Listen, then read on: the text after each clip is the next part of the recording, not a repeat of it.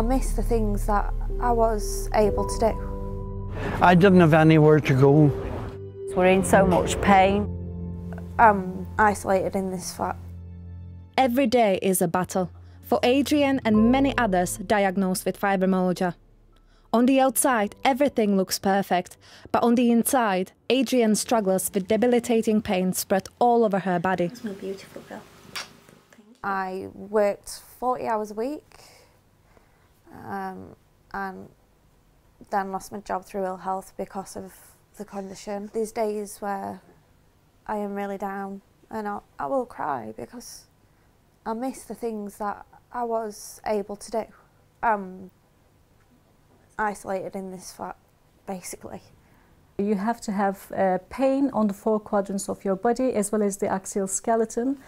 And, uh, and it needs to be chronic pain, so it needs to be at least three months or longer. Most people will come with symptoms of uh, chronic back pain, maybe arm and leg pain. The second most prevalent uh, symptom is the fatigue, so they will be severely fatigued and tired, which could be quite disabling.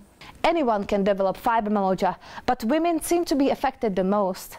One in 20 may be affected to some degree, and one in three people with fibromyalgia will develop depression.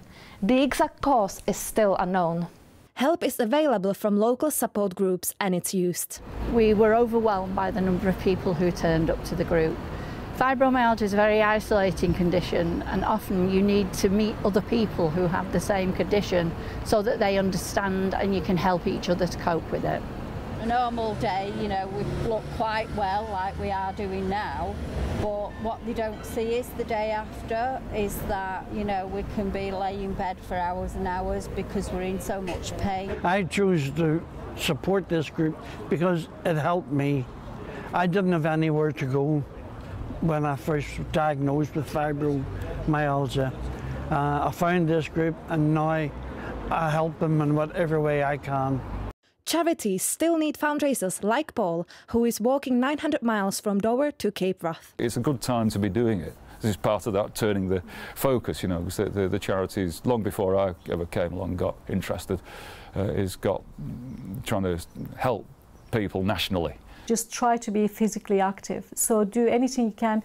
Find something you like that might be dog walking, that might be dancing, anything. It doesn't. You don't have to go to gym to do active exercise. Adrian started a petition to make fibromyalgia a disability in the UK.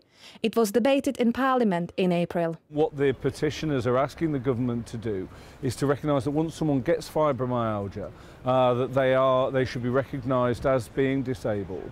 Uh, in, in terms of benefits, in terms of the health treatment that they receive, uh, and, and many other things. We are hoping to put pressure on Parliament and the government to recognise fibromyalgia as a disability.